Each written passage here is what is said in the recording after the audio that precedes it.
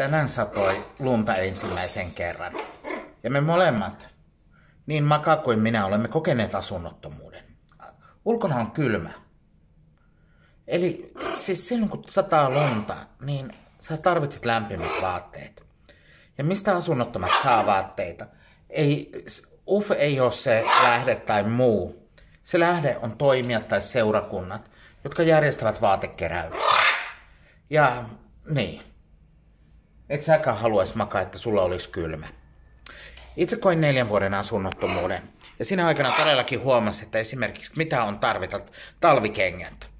Kuinka tärkeä asia se on, että sinun jalkasi pysyvät lämpiminä. Mistä löydetään alusvaatteita? Asi- hygieniatarvikkeet, kaikki tuommoiset asiat. Meillä on onneksi toimijoita, kuten vailla vakinaista asuntoa, VVA, seurakunnat, muut, jotka suoraan välittävät asunnottomille vaatteita. Mä toivoisin, että kiinnittäisit huomiota siihen, kun seuraavan kerran lahjoitat vaatteita, että voit lahjoittaa ne suoraan ilman välikäsiä järjestöille, jotka jakavat ne niitä oikeasti tarvitseville. Ja tosiaan, niitä asioita, mitä eniten tarvitaan, on alusvaatteet, lämpimät alusvaatteet, talvikengät, talvitakit, vyöt, hygieniatarvikkeet, heijastimet, kaikki tällaiset pikkuasiat.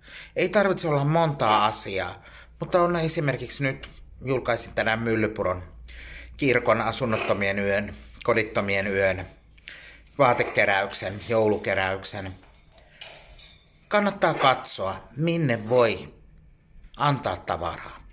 Myöskin esimerkiksi kotitaloustarvikkeet ja tuommoiset silloin, kun ihmiset löytää asunnon, niin heillä ei ole välttämättä kaikkea, mitä he tarvitsevat. Ja se, että mitä sinulla on kaapissa ylimääräistä, niin kannattaa miettiä, mitä tehdä sillä. Ja tosiaankin kannattaa muistaa, talvikengät on se ykkösasia.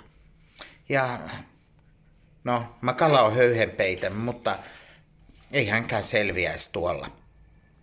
Makan, Makan isäntä valitettavasti on asunnoton.